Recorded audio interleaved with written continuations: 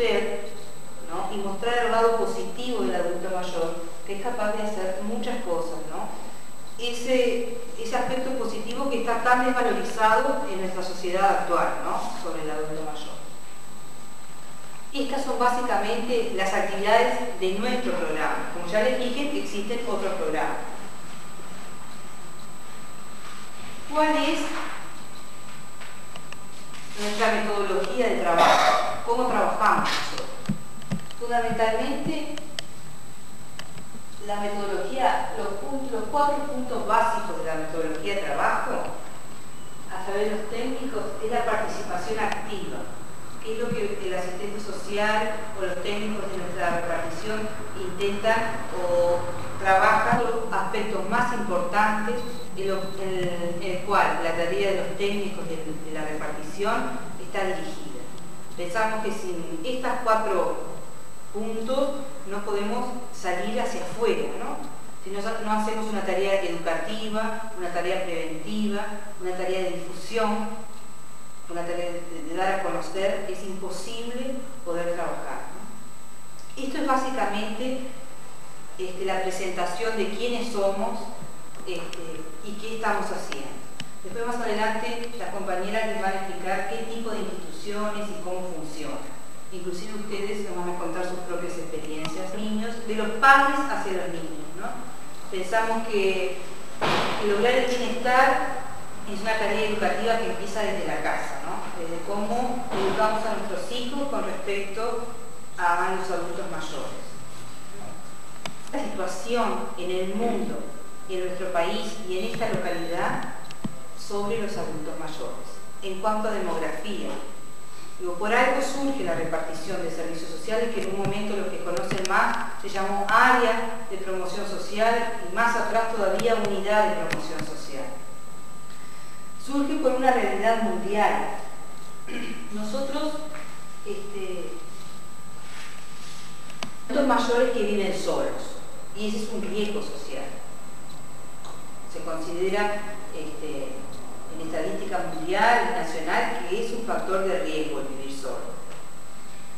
Que un 13,6% tiene necesidades básicas insatisfechas. Yo les traje de todas formas disculpa, eh, por una baja tasa de mortalidad, por una alta esperanza de vida y por la alta emigración de la población activa. Los factores que hacen que nuestra sociedad y otras sociedades tengan población envejecida. Nosotros como país de América Latina nos diferenciamos bastante del resto de América Latina. El Río de la Plata se diferencia bastante del resto de América Latina en cuanto a población,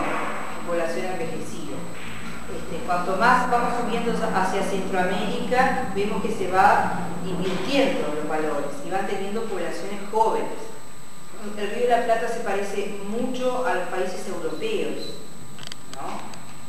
por su característica de la, de la migración, cuando tenemos todos orígenes este, fundamentalmente europeos, por costumbres, porque nuestro país tuvo una seguridad social muy temprana, o sea que, antes no existía, tuvo, y entonces todo eso, seguridad social inclusive en cuanto a todo lo que tenga que ver con la maternidad, con el control del embarazo, digo que en países hoy por hoy recién están empezando a tener, entonces nos lleva a tener una baja tasa de mortalidad infantil, una alta esperanza de vida, una baja tasa. Estos factores son los que determinan que una población sea envejecida.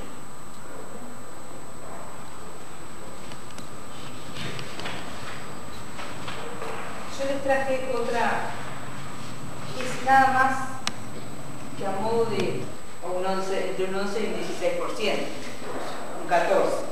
Entonces, ese es un número importante de adultos mayores, sin servicios. Ahí está. Eh, está mal acá de enfrente, su noche lo va a confundir. Esto es ¿no? en cuanto a la gráfica poblacional. ¿ah? Colinas de Corral es el celeste más fuerte, el celeste más, más claro es Cerro Pelado, Pechadero es ese medio amarillo y La Puente es el otro bordón. Pero el más grande es este, tranqueras en cuanto a población sin servicios. Eso es un poco porque algunos nos dicen, sí, tenemos una población altamente envejecida, y muchos no sabemos por qué. Somos un país de viejos, nos dicen.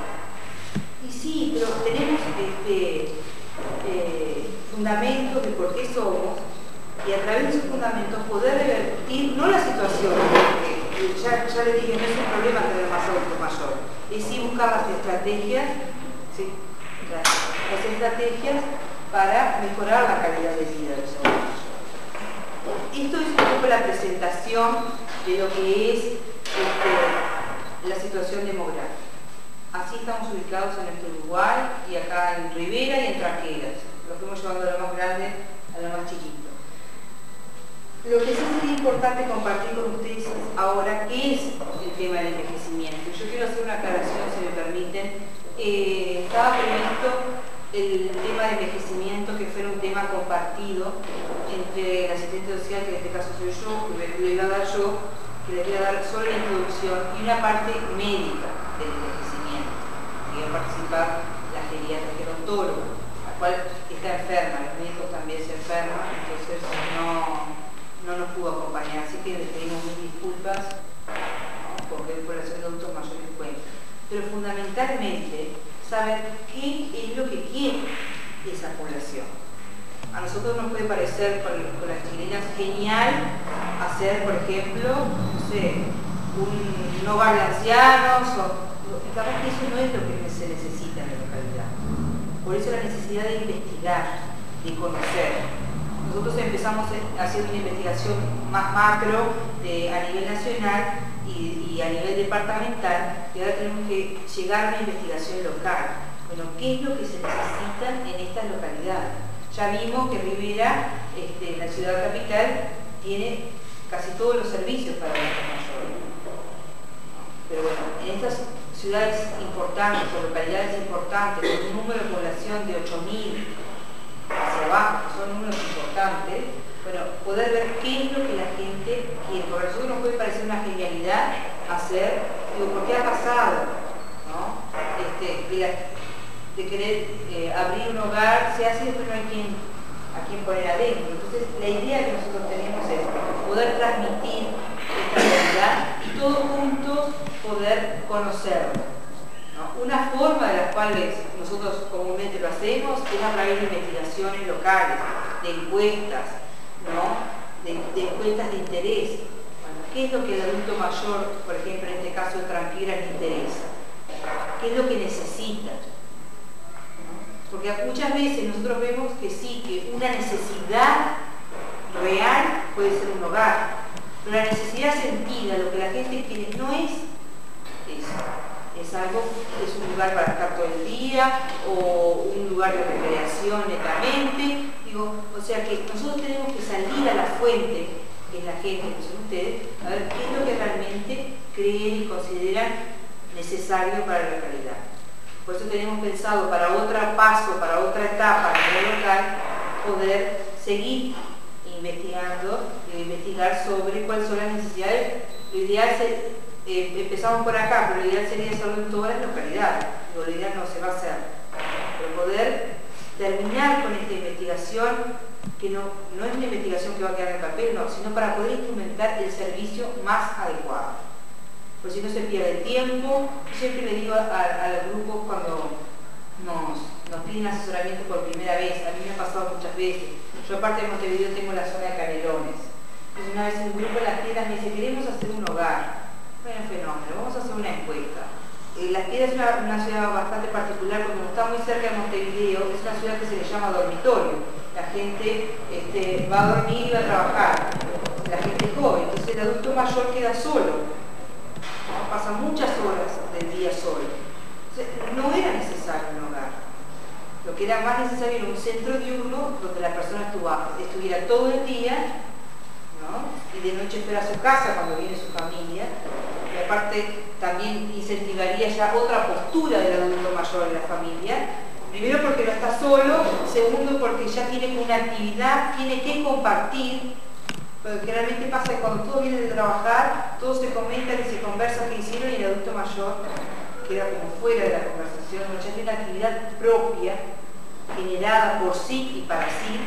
Y otro de, los este, servicios que nos pidieron fue el tema de ayuda domiciliaria.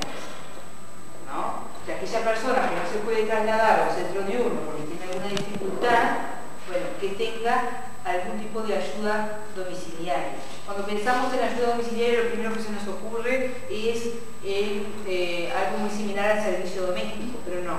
La ayuda domiciliaria pasa desde que sí le ayuden a, hacer las cosas de la casa, puede ser, que le hagan los mandados, que compartan un tiempo con ellos, que les lean o que vengan a la hora de los medicamentos. Y uno se imagina que para una ayuda domiciliaria tiene que tener una tecnología sumamente sofisticada, tener mucha locomoción, y siempre les contamos la experiencia que tienen nuestras compañeras en Las Doñas, este, en Fraile Muerto, que es una localidad muy pequeña, y en un servicio de ayuda domiciliaria. no era necesario ni un centro diurno ni un hogar. Era necesario, por eso tenemos que saber conocer. Por eso después las compañeras desde instancia van a seguir trabajando en el tema de este, poder en cuál es la realidad de, la localidad. Les voy, a mostrar qué entendemos nosotros por envejecimiento desde el punto de vista social, ya que desde el punto de vista médico no lo vamos a poder ver, bueno, ¿qué consideramos nosotros envejecimiento? Siempre hablamos del envejecimiento como eh, la última etapa de la vida.